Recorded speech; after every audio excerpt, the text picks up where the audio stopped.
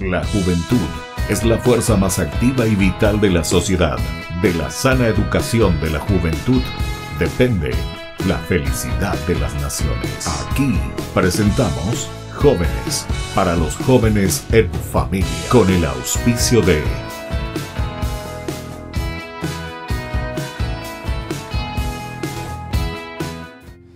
Muy buenas tardes, estamos comenzando con nuestro programa Jóvenes para los jóvenes en familia. Nos encontramos como siempre reunidos en torno a la familia y queremos conversar con ustedes, queremos escuchar también lindas experiencias de los jóvenes en ese camino de vocación. Recordemos que la palabra vocación tenemos todos, ¿verdad? Esta palabrita muy importante ya bien insertos dentro de nuestro corazón porque todos respondemos a un llamado. El primer llamado es el llamado a la vida.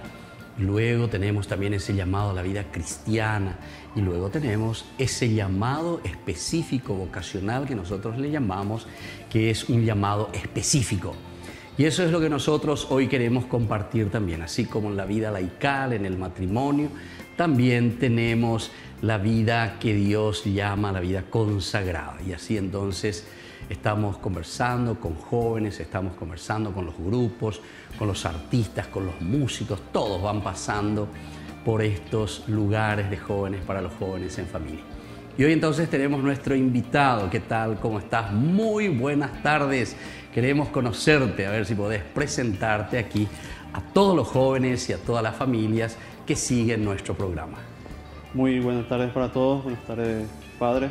Es un gusto poder estar acá en tu programa, poder conversar. Mi nombre es Cristian Riveros Barrios, pertenezco a la ciudad de Presidente Franco, del distrito de Alto Paraná. Alto Paraná, Presidente Franco, pues ya, pota la vende puentes y nada me bebe, lleva. ¿Eh? Estamos en proceso de nuevo puente.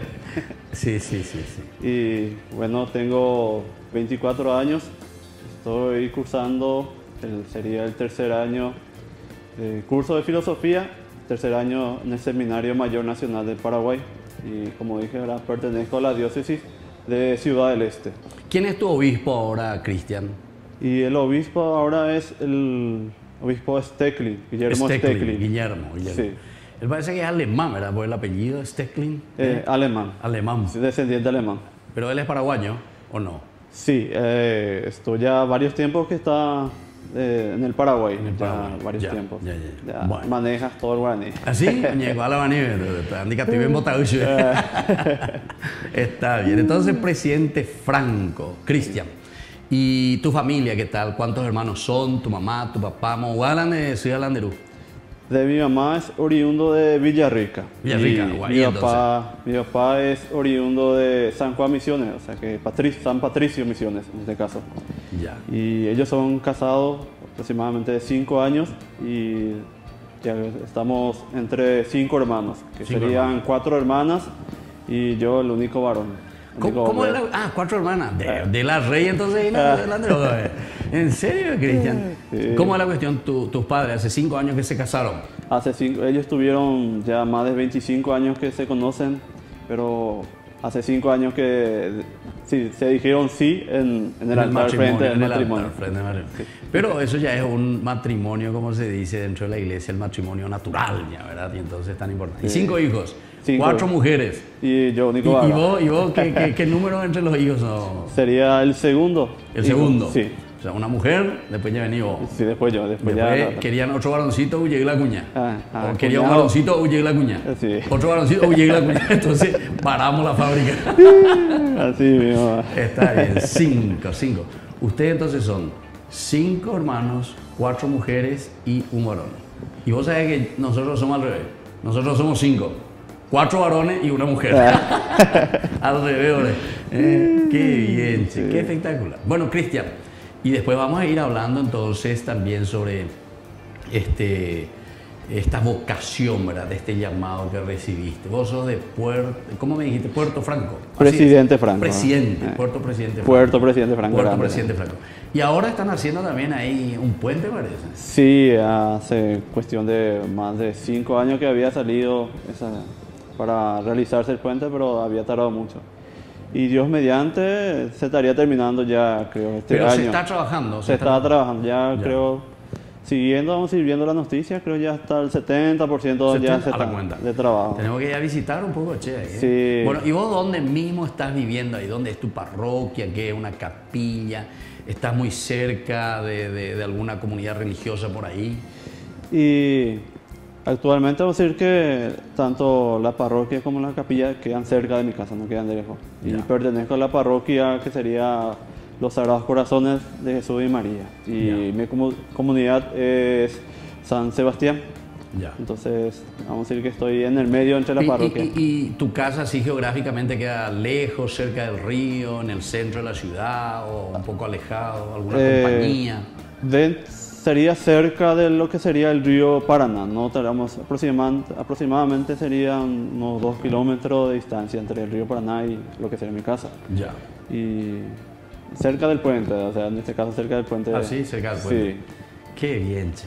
Muy bien, entonces nosotros estamos hoy, hemos invitado, él está en el seminario mayor. ¿Dónde tiene usted el seminario mayor?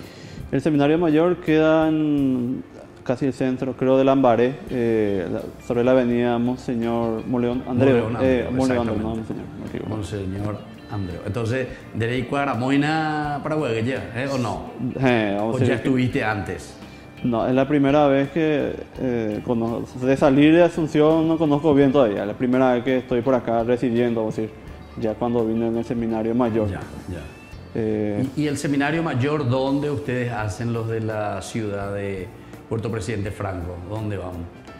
y los, el seminario menor queda en el kilómetro 11 de Ciudad del Este. Ahí eh, empiezan los jóvenes a lo que quieran, o lo que están eh, discerniendo su vocación, ¿verdad? Ya Ya. sea una pequeña eh, dis- discernimiento en el kilómetro 11 en el seminario menor. Y de ahí pasamos lo que sería en el seminario en Cacupe, del propedéutico. Ya, Y allí del propedéutico pasamos ya a Asunción. el seminario mayor, para comenzar la filosofía. Entonces, primero ahí en el kilómetro 11, pero ahí entonces son jovencitos todavía. ¿Los Sí. cuántos años entraste por primera vez al seminario en el kilómetro 11 de... ¿Qué es ahí? ¿Mingaguazú o ya es...? Es, pertenece todavía a Ciudad del Este, A Ciudad kilómetro Este. 11, Ciudad del Este. Ya, Pero nunca, o sea que no, no empecé yo en el seminario menor, sino que fue directamente que yo vine a, a Cacupa, en el propedéutico. ah, ya, Sí. directamente. Eh, terminé el- mi estudio en el colegio y directamente, vamos a decir que vine a, a Cacupe. Acá, Cupé. Sí. ¿Y quién fue ahí tu, tu director en ese momento? Y mi director lo que me guió fue el párroco, o sea que en ese tiempo estaba como párroco, el padre Hugo de Jesús Vera, que ahora actualmente está como formador en, en propedéutico en Cacupe. En Cacupe. Sí. Y él estaba como párroco y me fui a- para hablar, conversar con él para que pueda direccionarme. Y él fue el que me invitó para venir al seminario. Hasta aquí. Bueno, entonces así estamos hoy con nuestro invitado especial, Cristian, que está viniendo de Puerto Presidente Franco. Entonces la diócesis es de Alto Paraná, ¿verdad?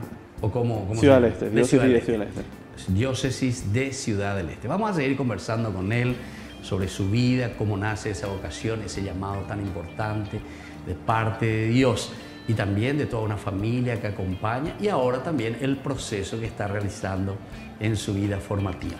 Nosotros volvemos enseguida con más Jóvenes para los jóvenes en familia.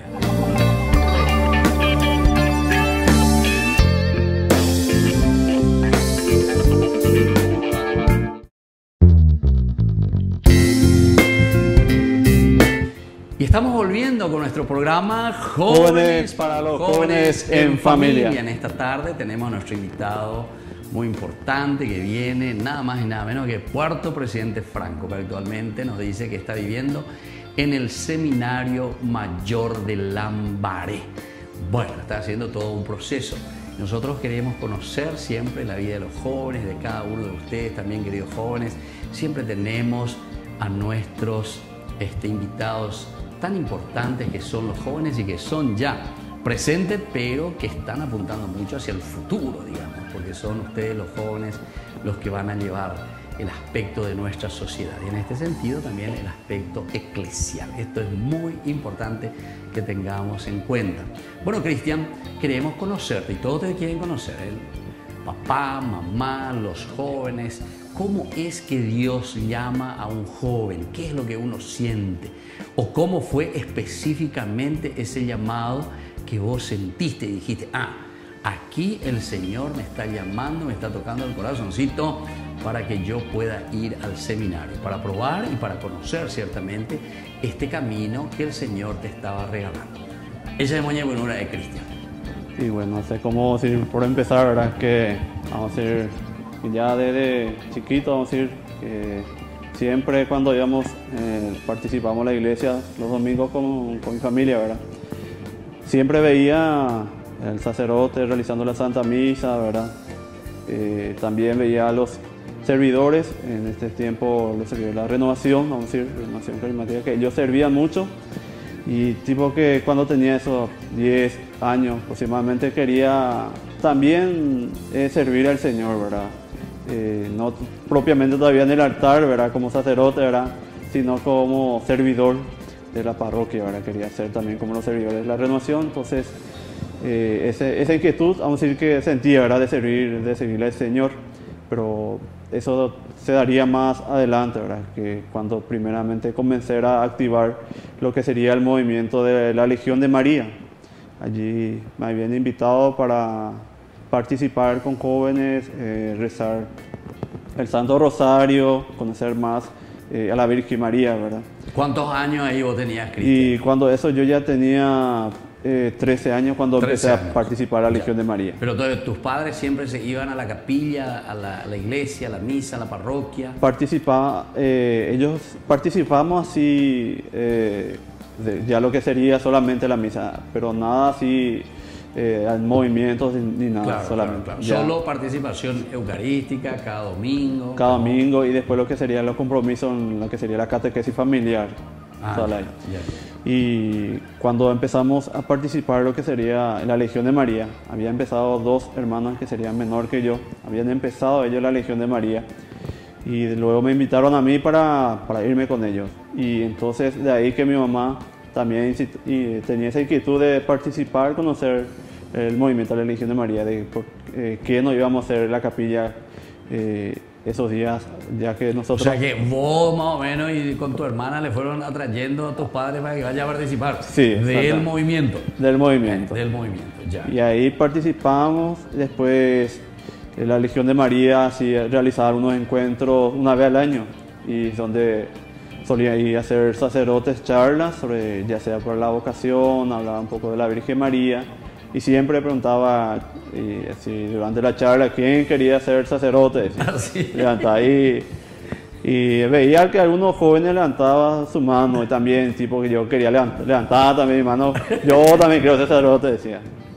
Y tipo ahí fue, eh, vamos a decir, quería, ya quería conocer un poco, era que era el seminario, era no conocía bien lo que era el sacerdote ni el seminario, sino que fue recién eh, fui conociendo ya cuando había culminado el colegio.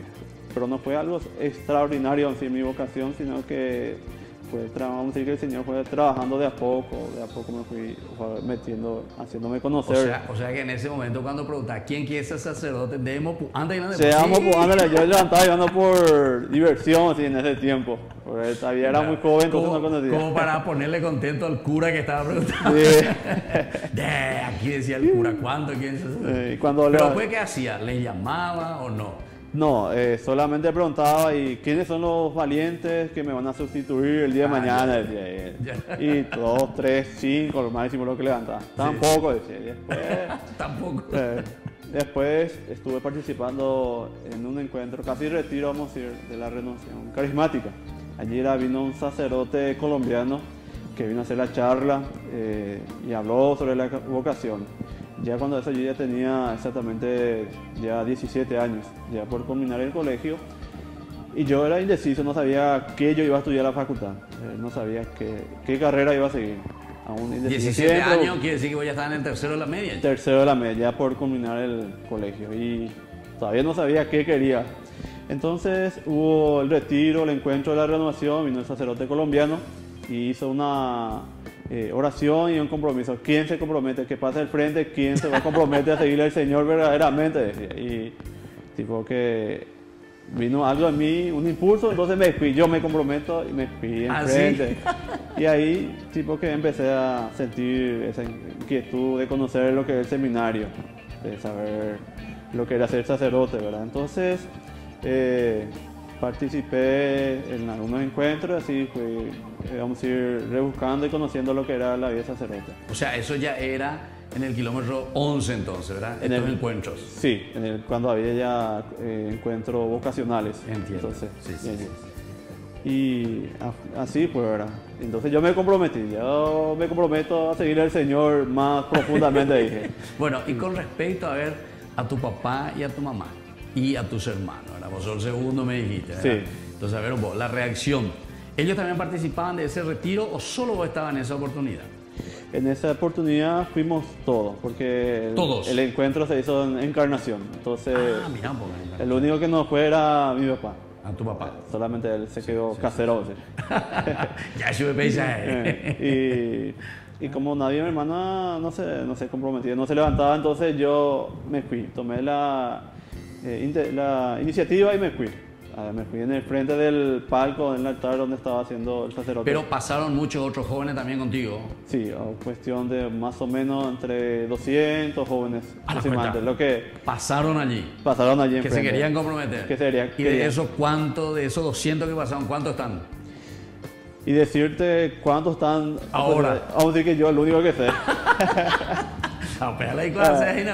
Quiero saber, a ver, de esos 200 que se hicieron de los valentones. Eh, y yo el único auxilio que por mí mismo yo soy el único auxilio que estoy siguiendo. Sí, sí, sí, sí. Y así fue. Y mis padres, vamos a decir, no sé si se sorprendieron o no cuando le dije que quería venir al seminario, pero de parte de, de mi mamá, sí, a ella le encantó, le gustó. Ella le gustó la idea de que Y yo a tu venga al papá, si vos sos el único varón.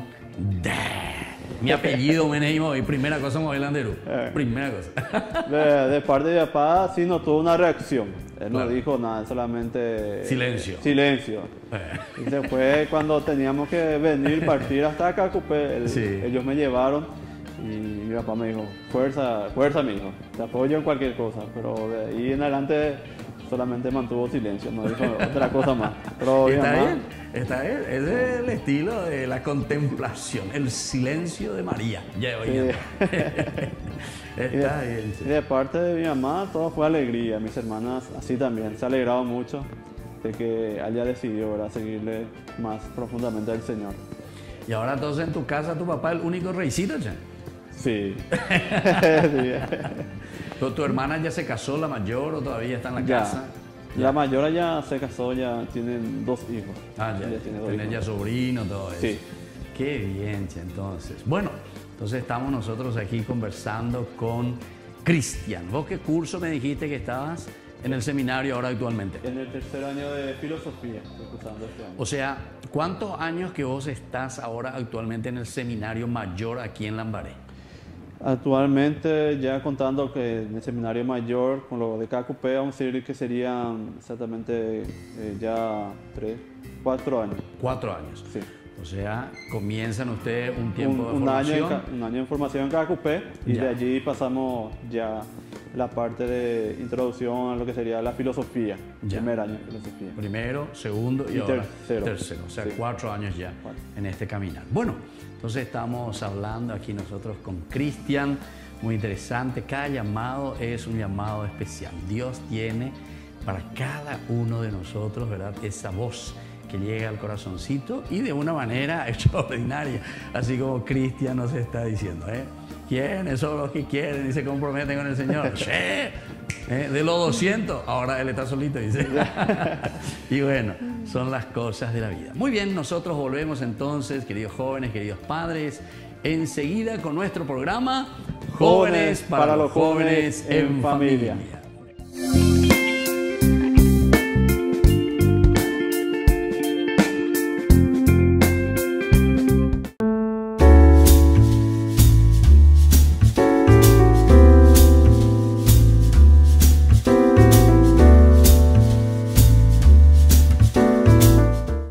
¿Qué significa recibir el sacramento de la comunión?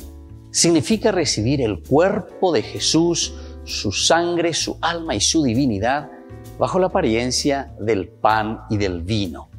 A Dios no le bastó hacerse hombre y morir por cada uno de nosotros, sino que quiso quedarse también por siempre entre nosotros en la Eucaristía, hacerse pan para unirse a nosotros en la comunión. Por eso es muy importante acercarse a la Eucaristía, a la misa, para poder recibir a Jesús todos los días. ¿Cada cuánto tiempo puedo comulgar? La comunión frecuente debe ser en lo posible todos los días, alimentarse con el cuerpo y la sangre de Jesús, recibirle a Jesús Eucaristía. Pero la iglesia ciertamente nos propone que por lo menos una vez a la semana, cada domingo, nosotros nos acerquemos a la comunión. La mejor devoción que podemos tener es la comunión diaria en la Santa Misa. ¿Puedo comulgar sin confesarme?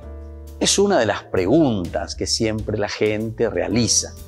Lo ideal es poder confesarse antes de comulgar, preparando y limpiando nuestro corazón para que Jesús pueda entrar en nosotros y encuentre el corazón purificado. Este es el acto más sublime que podemos hacer nosotros.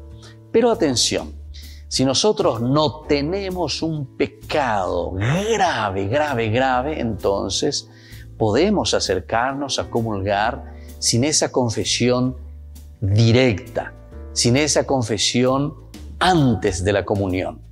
Pero siempre recordemos, que es muy importante el ir preparando el corazón para recibir a Jesús Eucaristía. El corazón limpio, la vida tiene que estar en esa sintonía con el Señor para poder recibir su cuerpo y su sangre. ¿Y qué es la comunión espiritual? La comunión espiritual consiste en decirle a Jesús cuánto deseamos recibirle en nuestro corazón a diferencia de esa comunión sacramental que hacemos en la Eucaristía, recibiendo su cuerpo y su sangre, es ese acto de deseo, pero que contribuye a avivar en nosotros esa sed de Dios y nos dispone a recibirlo. Algunas veces no podemos recibir a Jesús porque en ese momento estamos con una situación difícil, en el sentido de que estamos en una situación irregular y por eso hacemos esa comunión espiritual. Una pregunta importante es hacernos entonces, después de esta reflexión, ¿hace cuánto tiempo que no me estoy acercando a comulgar? Y la pregunta más importante aún es, ¿qué es lo que me está impidiendo a mí acercarme a la comunión? Les invito a todos a seguirnos a través de Facebook, Instagram, YouTube. Nos vemos allí.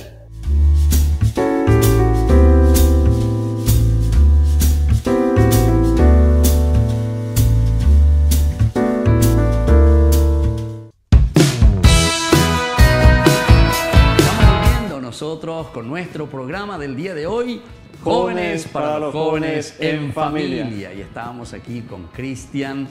Él viene de Puerto Presidente Franco. Estuvimos escuchando el primer bloque y el segundo bloque también, todo lo que significa su familia, todo lo que significa también este llamado vocacional. Es tan interesante, como decíamos, cómo Dios toca el corazoncito de cada uno de nosotros, nos va llamando y luego ciertamente que somos nosotros, ¿verdad?, quienes tenemos que responder.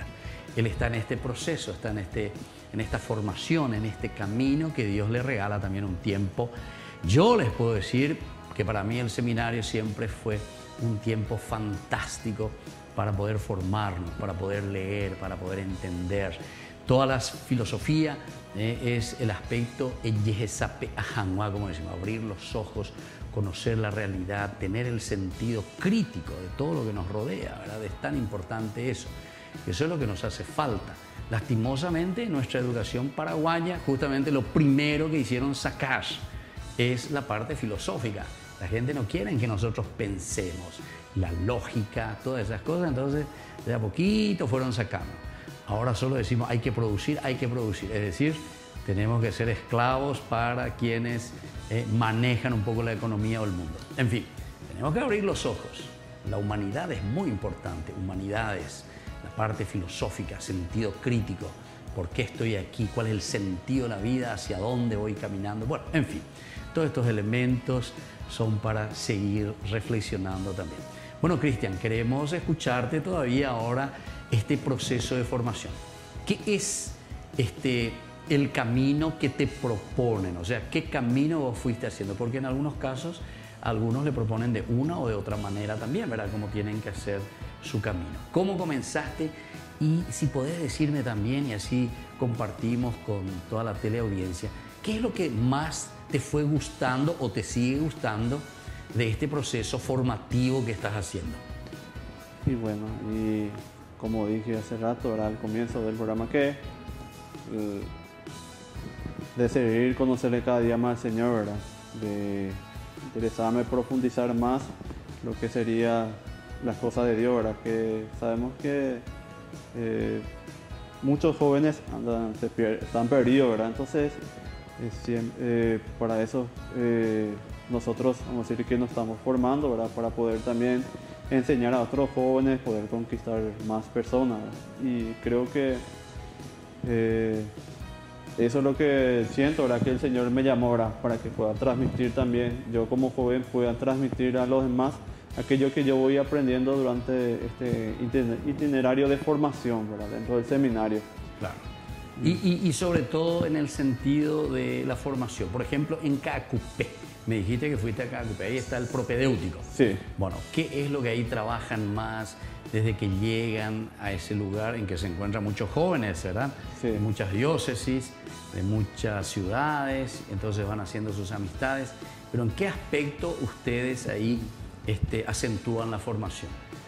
Y nosotros trabajamos lo que serían las cuatro dimensiones, que sería la dimensión humana comunitaria, la parte de dimensión eh, espiritual, dimensión intelectual y la parte de dimensión de la pastoral. Y la dimensión humana en este caso sería para poder convivir con los demás, con los compañeros, ya que estamos, eh, vamos a decir, ya de diferentes diócesis, de diferentes departamentos. Entonces, conocer un poco a cada uno su diferente cultura, decir, o pensamiento de, cada uno de los compañeros, ¿verdad? Entonces compartimos ahí lo que sería la parte humana, tener esa relación eh, con los otros compañeros de otros lugares, compartir.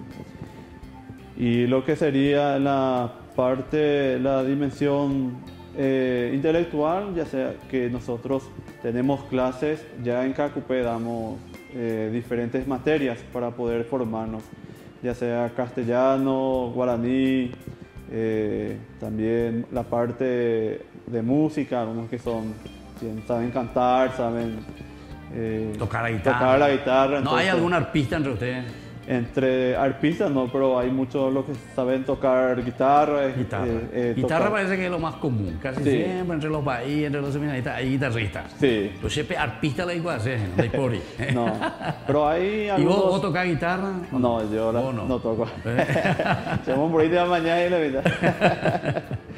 Después está lo que sería la parte pastoral sería ayudar a los compañeros, ya que en KQP, en KQP empezamos a hacer ahí diferentes trabajos dentro de la comunidad, ya que hay también el momento de aprender, también hay momento de hacer trabajos dentro de la comunidad, ya hay diferentes labores dentro de la comunidad, ya sea algunos que se encargan trabajar en la huerta, eh, algunos que eh, trabajan como, vamos a decir, leñeros, juntan las leñas para las cocineras también, algunos que son panaderos, que les gusta la panadería, entonces hacen pan.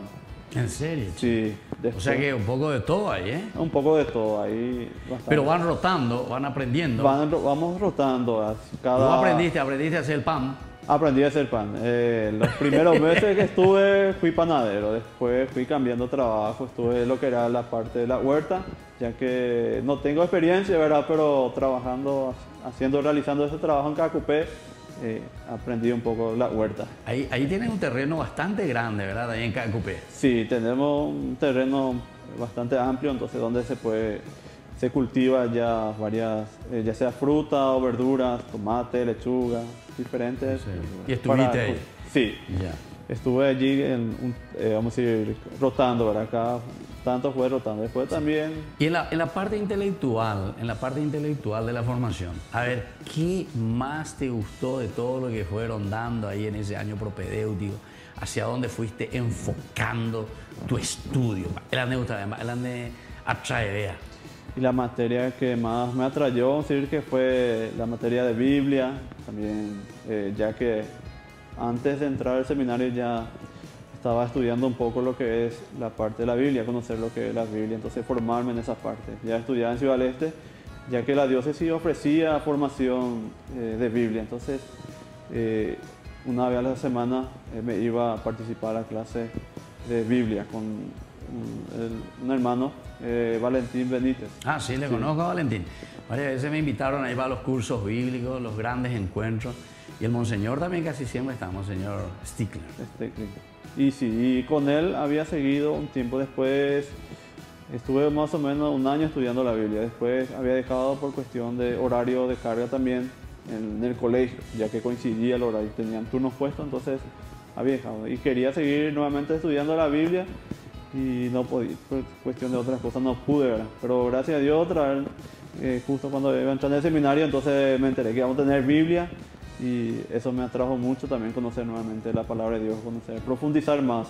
Claro. Y así también eh, algunos eh, vocabularios, o sea, lenguas, que sería el latín, eh, conocer el latín, después el- también lo que sería el griego, Ah, estás también con el griego. con el ¿Te griego. gusta?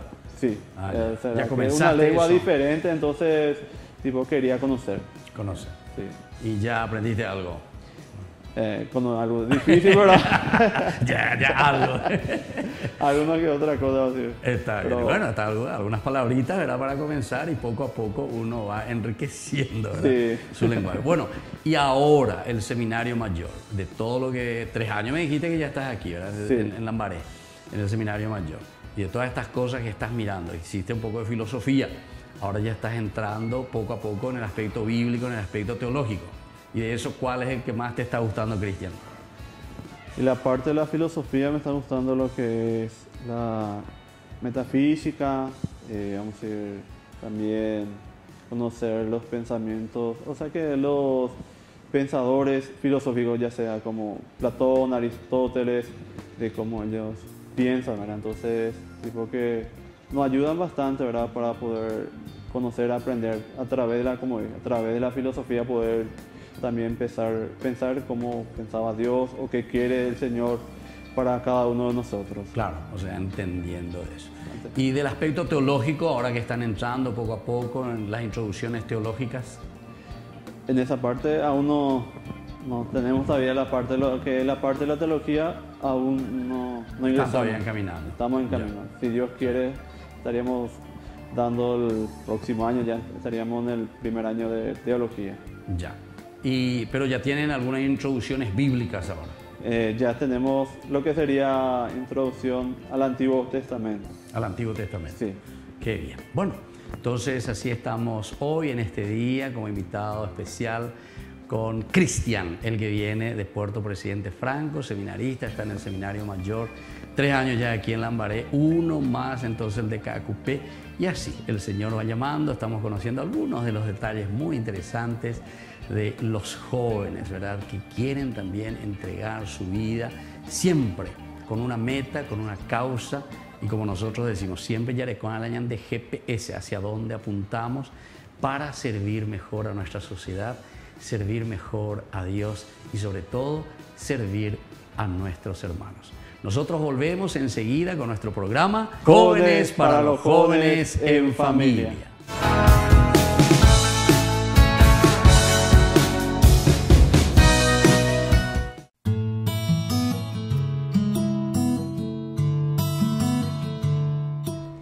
¿Qué son los pecados capitales?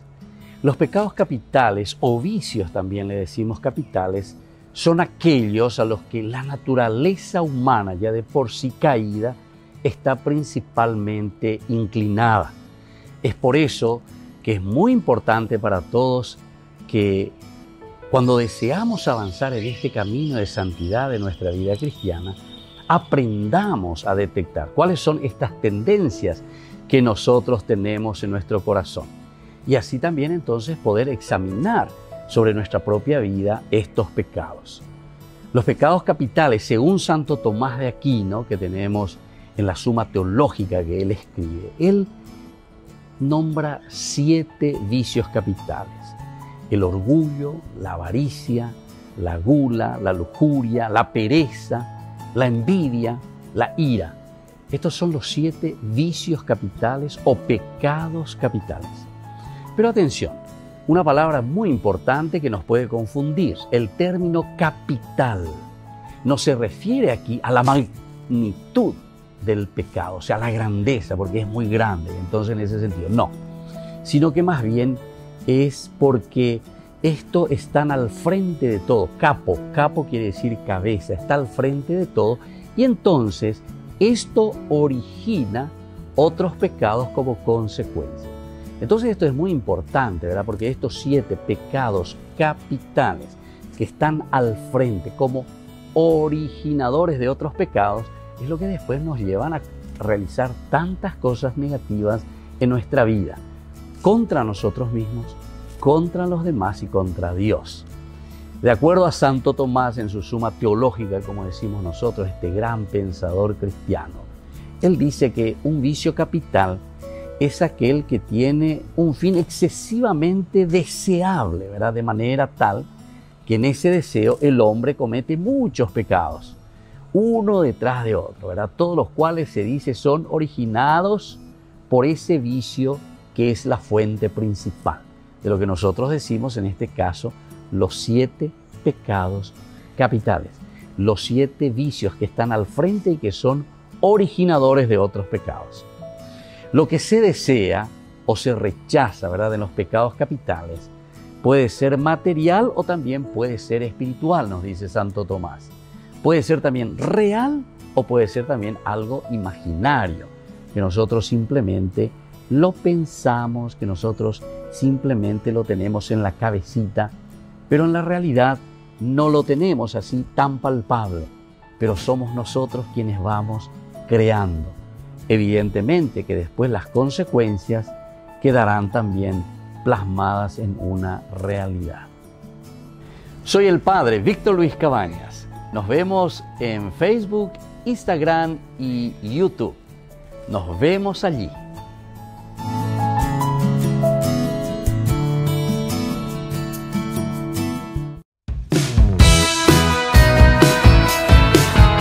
Seguimos con nuestro programa Jóvenes, para, los jóvenes, en, familia. Volvemos entonces y estamos con nuestro invitado especial del día de hoy. Es nuestro amigo Cristian que viene desde Puerto Presidente Franco.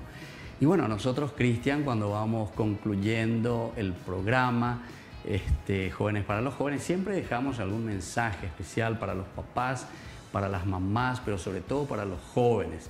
Jóvenes de tu edad, jóvenes que son ciertamente más jóvenes que vos también, ¿verdad? Vos mismo nos estabas contando que a los 13 años comenzaste con la Legión de María, ese llamado y así. A los 17 ya un poquitito más seriamente y luego el Señor que ya te fue comprometiendo y ahora que estás haciendo este proceso, cuatro años ya de formación en el seminario mayor, en este caso ahora. Entonces nos gustaría escuchar qué mensaje, qué cosa le querés dejar, le querés decir allí a los padres por una parte, pero sobre todo también a los jóvenes.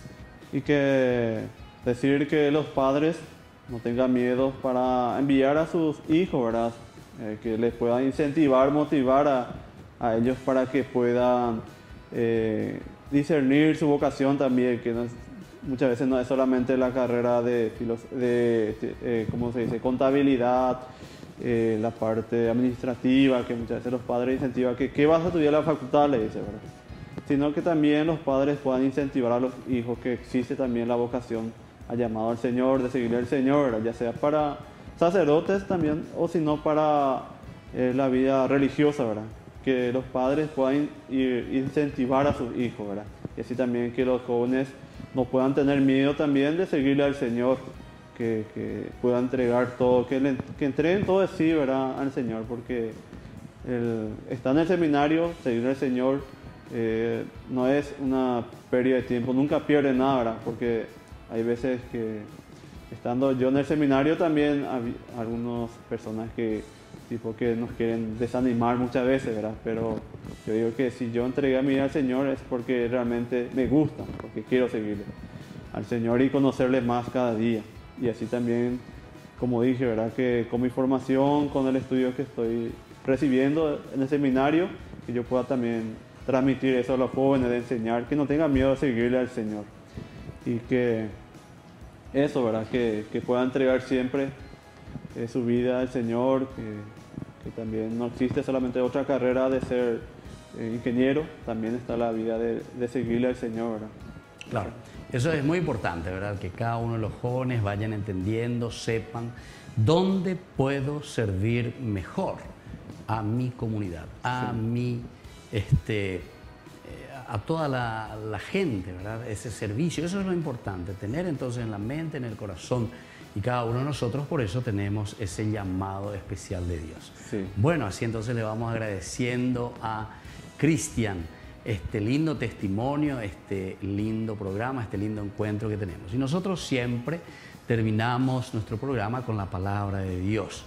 Cristian dice que tiene un pasaje bíblico, porque vos no dijiste lo que estaba estudiando la Biblia ya de joven, ¿eh? Sí. Ahí este, con Valentín. Yo le conozco a Valentín, ¿eh? muy amigo, ahí de Ciudad Este. Muchas veces me llamó también para hacer los cursos, pero ahí son multitudinarios los encuentros, ¿eh? Sí. Mucha gente. Otra vez me llevaron también a Santa Anita, ¿verdad? O sea, toda la cuestión de la parte bíblica, muy interesante. Este trabajo que necesitamos hacer como iglesia. Y ahora entonces, con mayor razón, ¿verdad? Sí. Este que estamos hablando contigo, porque, porque ustedes se están formando para el futuro también de este servicio. Y siempre el servicio es el de la palabra, el de llevar lo mejor de Dios para nuestros hermanos.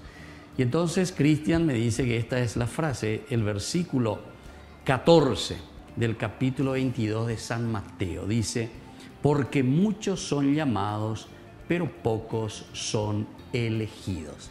Y esto me hace acordar seguramente que esto te vino de esa oportunidad que el sacerdote colombiano dijo, bueno, a ver, los valientes pasen aquí. 200 pasaron, 200 pasaron. Muchos son los llamados allá, pero pocos los elegidos. Y de ese grupo me decís que solamente vos estás. Sí, ya. Bueno, vos sabés que nosotros también, yo hice mi seminario en Pacaraí, Don Bosco. Ahí nosotros en mi tiempo éramos 123, hasta ahora recuerdo, 123 aspirantes, de los cuales creo que estamos tres o cuatro sacerdotes. ¿eh? ¿Eh? Imagínate, bueno, yo soy de, de 1981, bueno, ahí comenzamos, hicimos todo ese proceso también, pero queda huellas, ¿verdad? Marca la vida y el corazón. Y así entonces, esta frase es la que encontramos al final de la parábola del banquete nupcial. Dice justamente que Jesús les habló sobre el reino de los cielos. El reino de los cielos se parece a un rey que celebraba las bodas de su hijo. Envió entonces a sus servidores para avisar a los invitados, pero estos se negaron a ir. De nuevo envió a otros servidores con el encargo de decirles, mi banquete está preparado, ya han sido matados mis terneros y mis mejores animales. Todo está a punto, vengan a las bodas.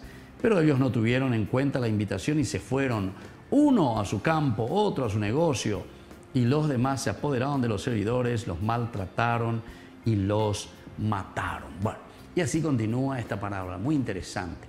Pero lo importante es cómo finaliza, ¿verdad? Porque finaliza diciendo que muchos son verdaderamente los que son llamados.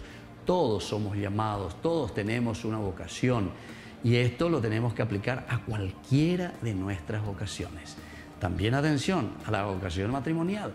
Muchos son llamados, pero atención, cómo también nosotros llevamos este proceso vocacional.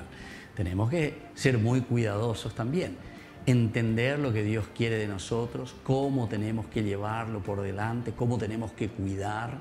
Justamente Jeremías también en una oportunidad dice que todo esto lo llevamos como en vasijas así, son tan sensibles y en cualquier momento esto puede quebrarse si es que uno no lo cuida.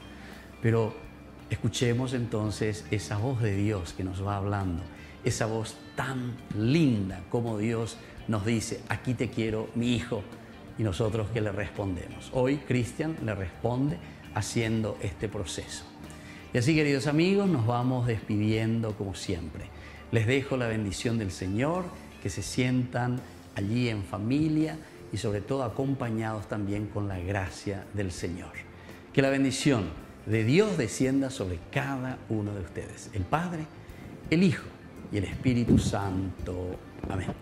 Y hasta la próxima, queridos amigos, con más jóvenes para los jóvenes en familia. Y nos vemos el próximo domingo.